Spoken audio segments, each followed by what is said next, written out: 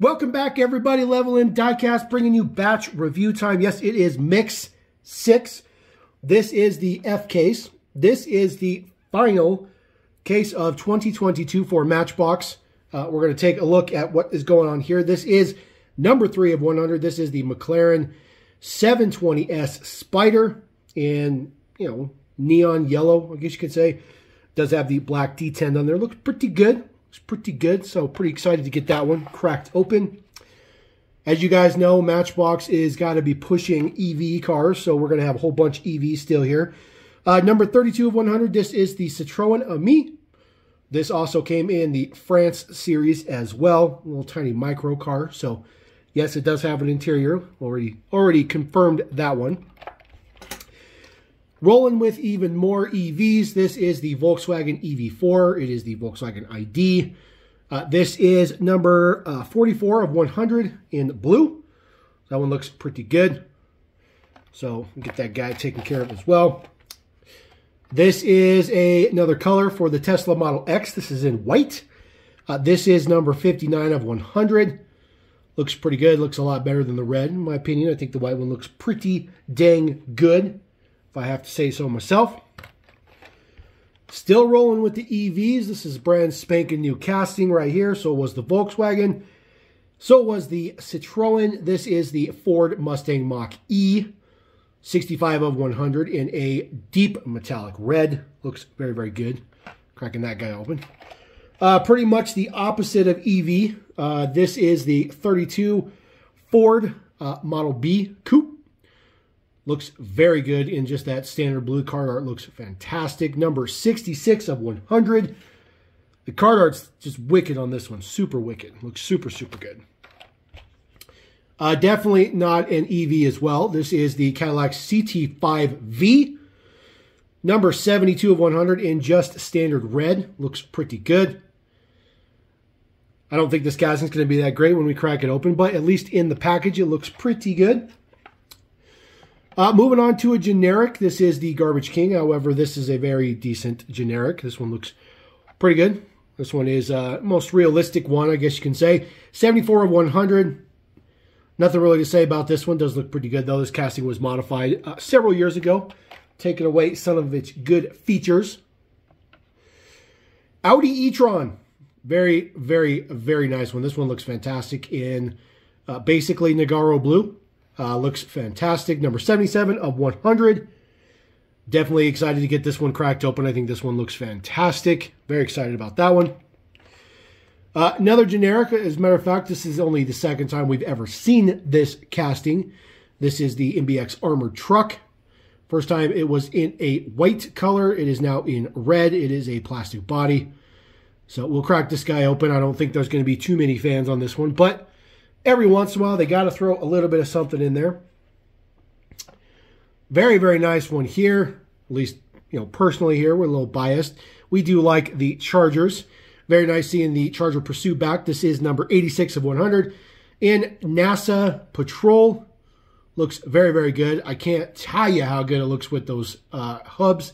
Those disc hub wheels on there looks amazing they definitely need to stick with the disc hub wheels for the remainder of its existence. More disc hub wheels. This is the 69 BMW 2002, number 87 in red.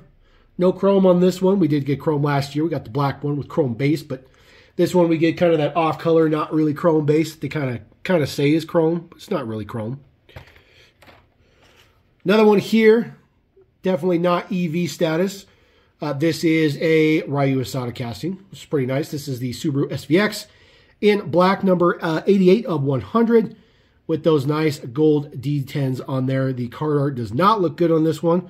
Wheels don't look good on the card art. That's just my own personal opinion.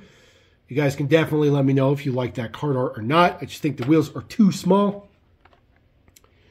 Another generic casting. This is the Express Delivery. Again, this casting has been modified a couple times since it was a brand new casting, although this is a reoccurring theme. This Cargo Couriers, so very nice to add this one on there, just in dark blue. Looks good. This one will be in FedEx Deco for 2023. Very exciting about that one. It also gets a playset to go with it, so that's exciting. Uh, casting that's been around for a really long time, although this one has been updated uh, last couple of years. Uh, Volkswagen Beetle, the original Beetle, number 93 of 100, in a dark forest green with a gray base. White wheels looks pretty good. Kind of like that combination on that guy. Couple more going on here, guys. This is a relatively large batch. This is the Toyota Land Cruiser FJ40. Been a little while since we saw this one just in the standard mainline. Uh, number 97 of 100. Of course, this was modified a few years ago, took away some of the metal, but it is still a great casting. They are coming out with one with opening doors for the moving parts line, so that'll be a nice little addition for that. then the last one we have here, this is the Jeep Wrangler Superlift. This does carry that Matchbox Adventure logo that you see on the cards. A little bit of glare on there, so that is the logo there. So that's you know, carrying on there. That's kind of like what they're doing now. This is their new push or whatever. Uh, this is number 99 of 100. So this is the last car in the mix. So we'll get that guy off there. And you're probably saying, Level M, I'm pretty sure there's supposed to be something else in that mix. There is supposed to be something else in that mix. As a matter of fact, he's been hiding in the back. That is what's in the mix. That is your Mix F Super Chase. That is the last Super Chase of 2022 for Matchbox. This is the Porsche 911 GT3. Um, in case you guys didn't know, Super Chase, Matchbox has been very adamant on plastering on the car that is a Super Chase, uh, just in case you didn't know. But this one comes in black. Looks absolutely fantastic. And since this is technically now part of the straight line, we're just going to look at this one right now. This is the card in the back. Nothing fancy. It is not part of any particular series, segment, or anything else. It is a standalone model. Got this one from a friend. I was unfortunately not able to pull this off the pegs, but I did get one of these uh, in a trade. So pretty happy about that. I could bring this to you guys for the unboxing of the um, you know batch review. So we're just going to go ahead and tear this guy right out of his blister because that is what we do. This is your Porsche Super Chase. Looking absolutely fantastic. Says Porsche on the side, says SC for Super Chase. Super fast logo on there. It is in yellow, orange, and red. Do love the color combination. Uh, it does have the tri-spokes. Um, this wheel, I think, has been used on this casting in premium before. So no surprise there, although I wish they would have done a different one. Nice full deets on the front. Looks fantastic. Porsche logo. Then you got the stripe going all the way down the center of the car in yellow. Headlights done up. Fantastic. Other deets on this side looking pretty good. Does have full rear tampo done up. Get that plate to focus. Does say MBX SC. So, if this is SC3. But it stands for Matchbox Super Chase. Does have your GT3 logo on there. Tail lights are done up. That looks pretty good. There you go. It does say SC3. So maybe that just means Matchbox Super Chase. Then maybe the fact that it's a GT3. I do like that Euro plate on there. Looks very, very good. There is your base deets on this one. Copyright 2007. They did not uh, give this a new copyright date when they changed the spoiler to metal. That happened a couple years ago. So there is your Super Chase. Looking absolutely money. Absolutely fantastic.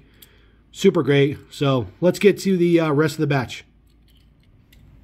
All right, everybody, we're going to go through these. We're going to start with our BMW. This is number 87. 1969 BMW 2002 in red. We've seen this guy in a bunch of decos already. Uh, this one, you know, typically gets some pretty good details to it. Um, I believe it's always had front and rear tampos, which is what it needs, which looks pretty good. I think this one kind of needs a chrome base, though. I think that that's important. But outside of that, it looks really, really good, uh, especially in red. Uh, you know, kind of a blue-colored window, a little bit. Uh, just a little bit, not too much color on there. Full front rear tampos looks very, very good. Disc hub wheels. Like I said, not an existing casting, or not a brand new casting. Still looks pretty good though. So definitely like that one. I'm a BMW fan. BMW fan. Looks looks good. Looks good. All right, next we're going to take a look at this one is absolutely ridiculous because of the disc wheels, the wheels that they chose. Uh, Dodge Charger Pursuit. This is number 86 of 100. This one is looking money. I think that the disc hub wheel is a perfect choice for this particular casting. I'm not really sure why it took them so long to do this. Um, to be honest with you, I was kind of weary that it would look good on the Charger, but it looks very utilitarian, exactly what you would expect from a police car, and it looks really good. This one in NASA Security Deco. Uh, this casting was modified a little while ago from its original version, which all they did was integrate the light bar. And this was a brand new casting. It just, you know, had a separate light bar. It looks pretty good though. Uh, no front and rear tampos. It does have little corner lights on there. Uh, just part of the side pass looks pretty good. So I wish they could have at least done that on the premium version they did, but we didn't get that. Next one up, we're going to take a look. McLaren 720S Spider. Uh, number 3 of 100. This one looks ridiculous in this color. It's just a ridiculous color. Like, ridiculously good. Um, front and rear tampos look very, very good. It is, of course, the Spider. So it is a convertible top. Uh, they don't make a hardtop one. Matchbox doesn't yet. Uh, they might at some point in time, but for now, we just get this one. Looks pretty good. Uh, this one also, I believe, was in the France set in a gunmetal gray. So I still have that stuff coming up, guys. So bear with me on that one. But this one looks pretty good. Uh, basically blacked out front windshield, but that's just kind of the way it is. I think it looks good, though. It's still a good casting. They did a great job. Uh, just, you know, not something you'd expect to get from Matchbox and being with a McLaren. Looks pretty good. Next one up, this is the 32 Ford Model B. Uh, we've seen this a few times already, but this one looks especially good. Just especially, especially good uh, because it does have that kind of convoy style wheel on the back, um, which I think is just a perfect fit for that particular wheel. Uh, does have just simple tampos on the front with just some grill details in there. Um, there is a little bit of black detail on the side vents of the hood as well.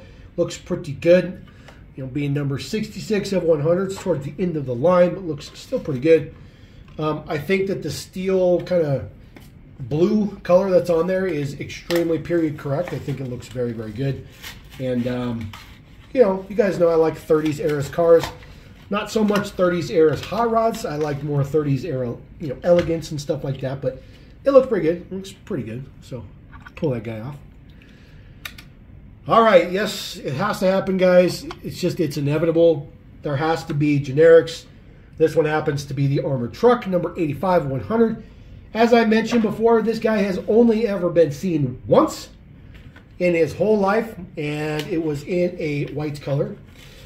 Um, don't remember what the deco was on the side, but you know, you guys are seeing it, so it's all good.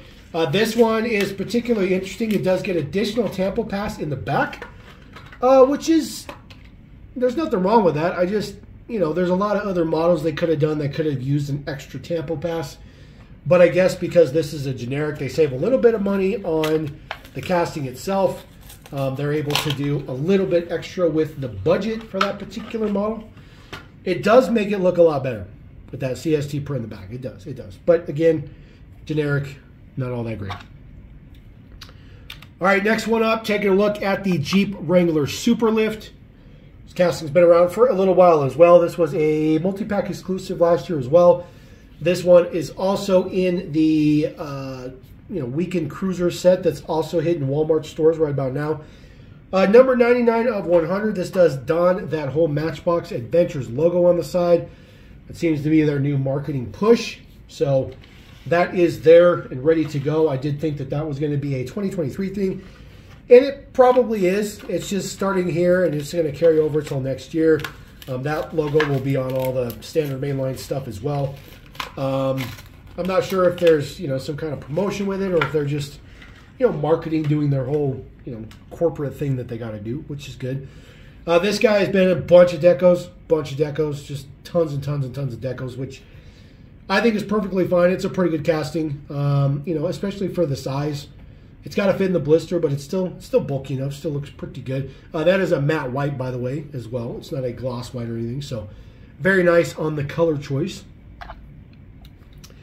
All right, here's one that I think everybody's going to love. This is the Toyota FJ Cruiser. The FJ40 is its designation. Uh, we have seen this casting many, many, many, many times, although it did take a large hiatus when Mattel lost the Toyota license. Uh, when it came back, this was modified. The front fenders used to be part of the body, front grille as well, and now those are modified to be part of the interior. So it is a, you know, can provide a color break, but it definitely looks better when they are, you know, colored with the rest of the vehicle. Does have some nice striping on the side, which, you know, relatively screams, you know, 70s, I guess you could say. Uh, this one, number 97 of 100. So you'll notice most all of these ones are right towards the end of the line. Obviously, it is the end of the year, so we're going to just roll with that one. All right, one more generic casting, um, and then we'll have just one more after that. This is the trash truck, aka the Garbage King, number 74 of 100. Uh, this particular one was modified about two or three years ago, maybe three or four years ago, um, to make the interior and the back part all the same piece. So that's why this model will have a blue interior and have a blue back in there because it is all one piece. You see the blue that comes in underneath the cab. So that white cab is the only thing on this entire model that is metal. The rest of it is entirely plastic, which is unfortunate. Uh, the old version also used to have a movable thing in the back, so you can kind of simulate that it was crushing trash or whatever, and it was just part of the interior piece. It wasn't anything like, you know, added to be a moving part per se. It was just a clever use of existing parts, which was pretty good. This one is decoed up on the side. We'll see what that logo says real quick. Pacific Northwest sanitation. So there you go. Volkswagen Beetle. I don't even know what to say about this casting. This casting's been around for a very long time. Um, it was modified. There's so many versions. There's so many versions of this 62 Beetle. Um, this one looks fantastic though. It's a brand new version. Kind of a darker green looks good. Front and rear tampos does have plate detail on there. White painted hubs look good. Great base. So very nice to get uh, new versions of these. However, like I mentioned, the casting was updated a bit a couple years ago. And so even if they were to re-release old decos, they would be on the new updated casting, which would be a plus for sure. Uh, number 93 of 100. So we're getting right down to the nitty gritties with these uh, releases. Um, there will be, I believe, a couple of models uh, carried over to 2023 AKs, but we'll see where we're at when we're done. All right, this is the very last generic in the mix. This is the express delivery. Uh, this guy debuted um, about 10 years ago, I'd say, um, with the speedy delivery on the side. The white and orange looked very, very good. It was an all metal casting, uh, well, you know, metal casting and plastic base. Uh, used to have an opening door in the back. Uh, the casting was modified, uh, moved from a metal body to a plastic body, and then of course they still had the opening door. Uh, but then they retooled it, and now it no longer has an opening door that is fixed. And they put a clear roof on the top so you can see down into it, which I think is absolutely ridiculous. Um, there's nothing in there. So it's just open. There's no packages on either side. Um, you know, there's there's an interior in there, obviously, but there's no nothing in there to be a you know modified version, different different interiors like they've been doing for a little while. So it still looks pretty good. I do like the reoccurring theme. The cargo theme is a very nice reoccurring theme. Uh, we've got that probably more than a dozen times on various models. So be something to maybe look forward to. Uh, sometime in the future, might be able to pull all those out or something. We'll see. We'll see. All right, this is the last existing casting in the mix. This is the Subaru SVX in black, number 88 of 100. I do like the fact that they did get the tail lights to wrap around. Looks pretty good. Do have a little bit of print on the front corner lights as well. I think this car in black with gold wheels is fantastic. Looks absolutely great. Definitely, definitely like this guy. Obviously, there is an interior in there. It does have open windows. Uh, the top is just very, very, very, very dark, um, which is perfectly fine. I mean, it's it's you know the roof and the windows all in one piece, so probably always going to have it be dark. Uh, but this one looks pretty good. I do like this one a lot. It is a very uh, desirable casting. We haven't seen it all that many times. We've seen about four versions.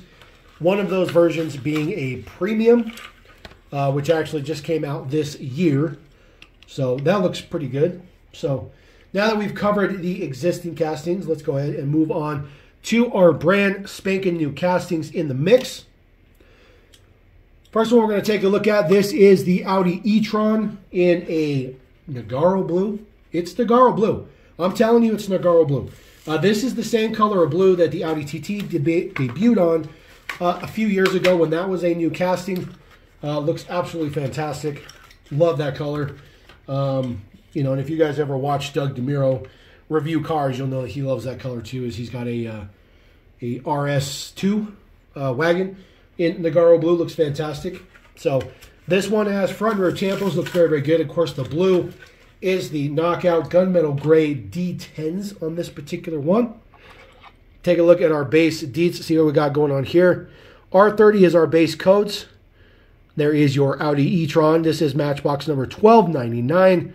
As we continue to move up in the man numbers, take a look at the details on this since this is a new casting. Just roll through with the good deets. Front looks especially good. The prints looked very, very good on this one. Prints turned out very, very good. So pretty happy about that one. Very happy about that one, actually. All right, moving on to the very next one. Yes, it is more electronic cars, electric cars, however you want to. This is the Volkswagen EV4, which is the Volkswagen ID. I do believe they call this the EV4 because then it can kind of just cover every market. Um, I don't believe it's called the ID4 in other markets, but it is called the ID4 in the US. This guy is in dark blue. And like a lot of other castings we've been seeing, the entire top is one plastic piece, um, which I think works fine. They do have the silver printing on there, which I think is a necessity. I think it's kind of interesting that they build the models this way. I think they're doing that to avoid more metal, which is uh, kind of an easy way to do it.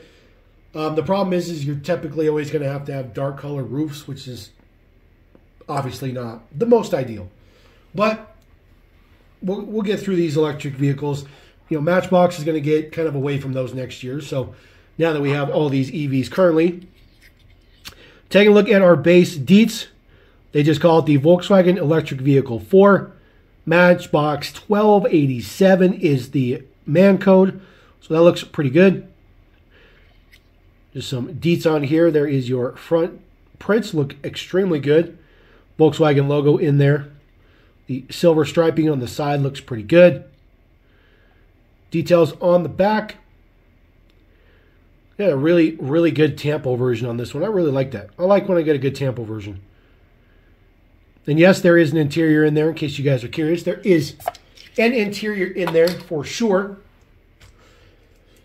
All right, you guys ready for micro car action? Because this thing is tiny. This thing is like the smart car. You guys remember the smart car? Wish Matchbox would bring that one back. That would be pretty cool. Uh, this is the Citroen Ami. This is an electric car. Obviously, this is never going to be sold in the U.S., but at least as people here in the U.S., we can have a little toy model of it. Looks pretty good. Like I mentioned before, it does have an interior in there, but just like the previous one that we just looked at, that Volkswagen, the entire top is also plastic as well. So very little metal on this model as well, just because it's it's tiny. It's tiny. Uh, it does have front and rear tampos. Looks pretty good. This guy was also in the France set. Um, and so I don't think there'll be any difference between the two. As a matter of fact, they were probably assembled on the line probably around the same time but still looks pretty good. So we'll take a look at this guy. Get some up close shots. Looks pretty good with the Citroen logo on there. I really like the uh, small six spokes with that orange chrome stripe on the side. Looks very, very good. There is the rear end. Then take a look at our base deets. Look how teeny tiny this thing is. Made in Thailand. Man number is 1279. So there you go. 2021 Citroen Ami. All right, we're going to flip the script because we're going to go right back to the U.S. now. We're going to take a look at this guy. This is the 2021 Ford Mach E. This uh, particular car is gaining some traction in the diecast world. Uh, we now have a Matchbox version. Hot Wheels has already made a race version. And Greenlight is doing one as well. So if you are a fan of the Mach E, you have several flavors to choose from. Although this one looks fantastic. This is obviously the best one yet. This is just factory. This one comes in a dark, deep metallic red. Looks very good. Um, does have you know metal across the stripe on the side of the you know, top of the doors and stuff like that. But the roof itself is plastic, perfectly fine. This model does come with a large panoramic glass roof on the top. Number 65 of 100 does look good with the chrome D10s on there. I think it's a pretty good look. Oh, dropping them. Take a look at our base deets. There you go. Matchbox number is 1303. 2022 Mattel. So you can tell this one was right at the end. This one was actually finalized this year. Front prints look pretty good. You have your, you know, Mustang logo there in the fake grill. Take a look at the back. The knockoff uh, Mustang taillights. The same Mach E on the plate. Looks pretty decent. Of course, this guy does have an interior in there. You just can't really see it. Still looks pretty good. Some pretty giant mirrors on there as well. So, interesting look, to say the least. All right, now this is a new casting this year, yes. However, this is the second time we're seeing this Tesla Model X. Uh, we did see this one in red previously. Now, one of the things that Matchbox started doing last year is that certain models get a second color, and they are considered a another part of the segment. They are not a recolor like Hot Wheels does. They are an actual model. So you have your red one, which was one number, and now you have this white one, which is a separate number, uh, which happens to be 59. This one, of course, does have the glass roof, like uh, most of these EV SUVs have done for Matchbox. Kind of the way they've been assembling it. I kind of think that that's an easy way out to avoid the metal. This one looks pretty good. I think this one looks better than the red one, just my personal opinion. Let me know what you guys think about it. Um, it's kind of nice being able to see so much of the interior, but maybe just a little bit more tint on the window probably would have been a little bit better for this guy. So, covered this model already, but there is the front deets. It is a full-on Tesla. It does look pretty good. Does have gray painted. Uh, D10s look pretty good. Zero emissions on the plate. This one kind of mimics the uh, white Tesla that they did in the Mattel Creations. 1286 is the man number on the bottom. So it was looking pretty good. All right, very last one in the mix. This is the Cadillac CT5V. This one is number 72 of 100. This is another brand new casting this year. However, this is not an EV. Very, very much not an EV. Uh, this is the high performance version of the CT5. The casting does not look that great. Um, I'll be honest with you. I, I don't. It's too skinny. You know, the details are there. All the details are there. It's just the casting is too skinny. Um, needs to be a little bit wider, just a little bit more heft to it. Um, and I think it would have been perfectly fine. I think with the details, it's good enough. Um, I just, you know, just my personal opinion, I just don't think this casting is all that great. Now, if we see this in a much better color with maybe a different wheel, who knows? Maybe it'll be more appealing, but the casting itself is here to stay, obviously. So it is what it is. Full front rear tampos, though, looks pretty good. Take a look at our base deets. Cadillac CT5V Blackwing. This is man number 1293. So pretty good details on the base. I do like that. There is the profile. The front tampos look pretty good. There's the side profile. I mean, it's the details are there. It's just the casting is just too small, too skinny. Uh, it does say CT5 on the plate. Let's kind of get that to focus a little bit. A little bit, maybe. Let's try. Sorry about that. It's very difficult to get that to uh, focus there. So there you go. That is the CT5. So batch review that guy definitely deserves to be on the podium for sure. But that is the F case from Matchbox 2022. That is the very last mix of the year. Um, we'll see where that puts us. And um, I think that we'll probably have a couple of cars carry over to the 2023 A case, which is perfectly fine. Um, that's typically what happens with, with you know the blue brand as well. But they're going out with a bang, so hopefully you guys can score yourself one of these Porsches. Hopefully I can score myself another one. But uh, we'll see we'll see how it goes. So there you go. Let me know what your thoughts about that. Let me know what you think about the F case. Let me know if you have a plus minus of anything in there. Let me know if you found this Porsche on the pigs. If you have, congratulations. Happy for you. Um, hopefully we don't get uh, Matchbox collectors, uh, you know, scalped out of being able to get these by, you know, blue brand collectors. So we'll see how it rolls. I appreciate you guys. Thank you very much. We're going to roll out Level Cast.